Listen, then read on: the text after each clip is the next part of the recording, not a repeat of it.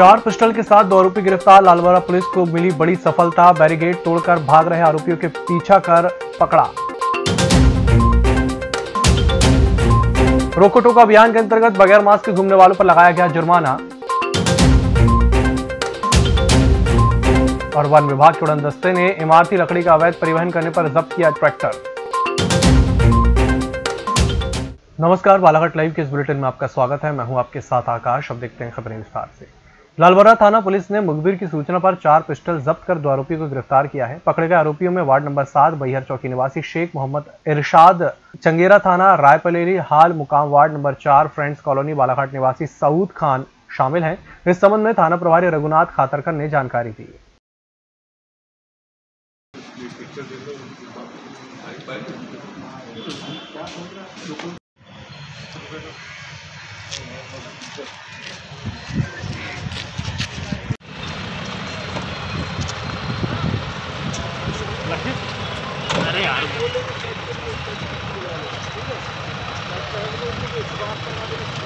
और कहीं कोई वारदात में संलिप्तता पाई गई? अब ये सब हमारे इन्वेस्टिगेशन के सब्जेक्ट है। पुलिस रिमांड ले रहे हैं। पर सर क्या लग रहा है जैसे चार पिस्तौल एक साथ एक ही जगह पे मिलना? इन्हें कोई बड़ी घटना हो सकती थी बालाघाट ज़िले में? ये सप्लाई के लिए ला रहे हैं। सर कहाँ से ला रहे थे? ऐसा कुछ बताया अभी अभी सब चीज़ जो अभी अंडर इन्वेस्टिगेशन होने से मैं आपको नहीं ये बरामदगी जो है इस समझ में किन किन स्थान से गिरफ़्तार किए स्थान सर कहाँ से गिरफ़्तार हुए ये जो है कटनझरी रोड में नाला के पास एक मोटरसाइकिल नगपुरा ग्राम के पास। सर ये किस रूट से आ रहे थे? ये इधर सिवनी तरफ़ से आ रही है सर इस अनावे मतलब इस विभाग में ये पहले ही मामला है सर? नहीं इसके पहले भी कट्टे पकड़े गए हैं कंटीमेड हथियार पकड़े गए हैं पर इतनी बड़ी ये बरामदगी पहले बार है इस पूरी कार्रवाई में थाना प्रभारी लाल बर्रा रघुनाथ खागरकर जी उप निरीक्षक मनोहर लिल्हारे ये आईजी ऑफ़िस में पदस्थ हैं। इनके पास ही सूचना मिली थी और थाना स्टाफ का काफ़ी बल जो है और आईजी साहब के कार्यालय का बल भी इसमें शामिल है। सर ये बालाघाट ज़िले में सेल करने वाले थे या बाहर लेके अभी इस विषय में हम आगे जो इन्वेस्टिगेशन कर रहे हैं इसलिए अभी इस बात करता हूँ कि मैं अभी आपके सामने अवगत नहीं करा सकता कभी क्या कार्रवाई की गई सर वर्तमान? अभी इनको गिरफ़्तार करके अभी इनको न्यायालय भेजा जा रहा है और इनको पुलिस रिमांड लिया जा रहा है। ज़िले में कोरोना संक्रमण को रोकने के लिए रोको टोको अभियान चलाया जा रहा है। इस अभियान के अंतर्गत बगैर मास्क के सार्वजनिक स्थलों पर घूमने वालों से जुर्माना वसूल किया जा रहा है। इसी क्रम में शुक्रवार को अंबेडकर चौक, बालाघाट में एसडीएम के सी बोपचे तहसीलदार रामबाबू देवांगन, पुलिस और नगरपालिका के दल द्वारा बगैर मास्क के पाए गए लोगों से जुर्माना वसूला गया और उन्हें मास्क का वितरण भी किया गया। इस दौरान आमजन को सलाह दी गई कि वह बगैर मास्क के घर से बाहर न निकलें और सार्वजनिक स्थलों पर सोशल डिस्टेंसिंग का पालन करना होगा। वन विभाग के उड़न दस्ता ने 25 मार्च को बालाघाट सिवनी मार्ग पर ग्राम पाथर साही में विभिन्न प्रजाति की काष्ठ का अवैध परिवहन करते हुए पाए जाने पर ट्रैक्टर को जब्त कर लिया है। विगत कई दिनों से दक्षिण वन मंडल, बालाघाट अंतर्गत वन परिक्षेत्र, लालबर्रा के अंतर्गत विभिन्न प्रजाति के काष्ठ का अवैध रूप से परिवहन होने की सूचना मिल रही थी। बुलेटिन वक्त छोटे से ब्रेक का जल्द हाजिर होंगे। हर घूंट सेहत से भरपूर without sugar without caffeine and with natural tea colour आय और अमृत हर्बल टी अपनाइए, जो हृदय के लिए रामबाण औषधि है। अब टी नहीं, सिर्फ़ आय और अमृत हर्बल टी। ब्रेक के बाद एक फिर से आपका स्वागत है, बढ़ते अगली खबर की ओर।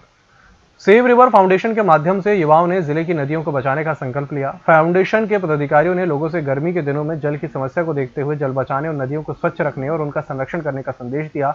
इस संबंध में सेव रिवर फाउंडेशन के अध्यक्ष राहुल सिंह बैस ने बताया कि बालाघाट की नदियों में हो रहे अवैध उत्खनन को कम किया जाए और रेत का उत्खनन केवल बालाघाट में हो रहे निर्माण के लिए ही हुआ। अगर ज़िले में बाहर रेत परिवहन किया जाता है तो उसके लिए बालाघाट ज़िले के लोगों की एक कमेटी बनाई जाए जो निर्धारित करे कि कितनी रेत बाहर ज़िले में भेजने के लिए निकाली जाए। उन्होंने कहा कि बैनगंगा नदी में गंदगी को रोकने के लिए वाटर ट्रीटमेंट प्लांट लगाया जाए जो नदी को स्वच्छ रखे।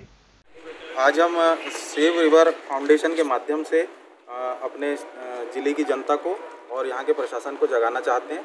आज ये हमारा पहला प्रयास है कि जो हमारी नदियाँ हैं, जो हमारे बालाघाट की धरोहर है, जिसके पीछे सभी सभी का जनजीवन उसी से जुड़ा हुआ है। तो हम चाहते हैं कि इसको स्वच्छ रखा जाए, इसको निर्मल रखा जाए और इसको बचा के सहेज के रखा जाए।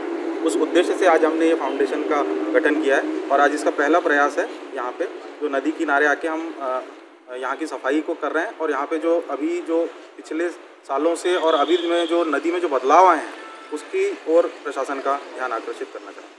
क्या क्या जैसे कि देखने में आ रहा है, पिछले के पिछले वर्ष 2019 की गर्मी में वैनगंगा नदी की धारा सूख चुकी थी।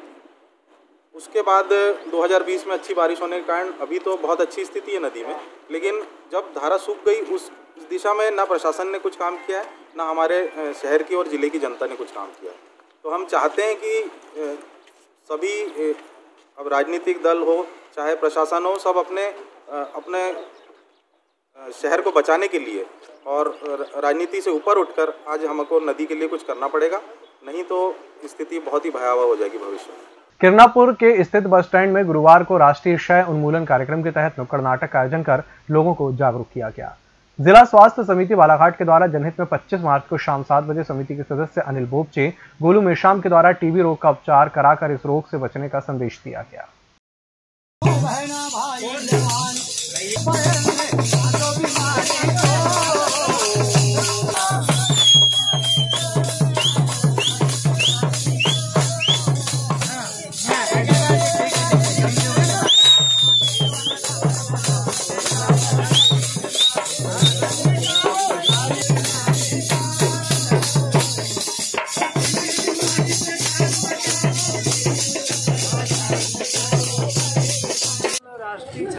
उन्मूलन कार्यक्रम के अंतर्गत जिला क्षय नियंत्रण कार्यक्रम के तहत जिला क्षय केंद्र के द्वारा बालाहाट अ, समाज में टीबी के नए संक्रमण को रोकने के लिए ये कार्यक्रम किए जा रहे हैं जिसमें ग्राम के कहीं चौक पर कहीं बस स्टैंड में जहाँ पर भी लोग उपस्थित हो सके ऐसी जगह प्रयास नुक्कड़ नाटक दल खारा के सदस्यों द्वारा गीत संगीत के माध्यम से लोगों को एकत्रित किया जाता है। और मुख्य संदेश जो कि टीबी क्या है टीबी किन किन कारणों से फैलती है टीबी के क्या लक्षण है, इसके बचाव क्या है कौन कौन सी सावधानियाँ बरतना चाहिए टीबी बीमारी क्यों खतरनाक है सामुदायिक स्वास्थ्य केंद्र पर जो डीएमसी सेंटर होता है उसमें जो डॉट्स द्वारा डॉट्स दवाई दी जाती है छः माह का जो कोर्स होता है, वो कैसे लेना चाहिए? डार्ट्स प्रोवाइडर जिसकी निगरानी में टीबी से जो पेशेंट होता है टीबी संक्रमित पेशेंट वो छः महीना तक दवाई खा के सुधर जाता है, ये जानकारियाँ दी जाती हैं। वन परिक्षेत्र उत्तर लामता अंतर्गत कक्ष क्रमांक बारह सौ इकहत्तर वन परिक्षेत्र गुडरू से ये मामला प्रकाश में आया है। ग्रामीणों से जानकारी के अनुसार बताया जा रहा है कि रेत माफिया राजेश पाठक के कर्मचारियों ने रात के अंधेरे में जेसीपी मशीनों से फॉरेस्ट भूमि में बड़ी संख्या में चट्टान और पेड़ों को खोदकर रोड बना लिए, जिससे वह रेत का परिवहन करेगा। इससे पहले रेत ठेकेदार द्वारा एक किसान के खेत से सड़क बनाकर रेत का परिवहन किया जा रहा था। किसान ने अपनी निजी भूमि से रेत में बड़े डंपर ले जाने से मना करने पर रेत ठेकेदार ने रातों रात वन भूमि से सड़क बना ली है। सूचना पर उत्तर सामान्य वन मंडल अधिकारी के द्वारा मामला पंजीबद्ध कर विवेचना में लिया गया है।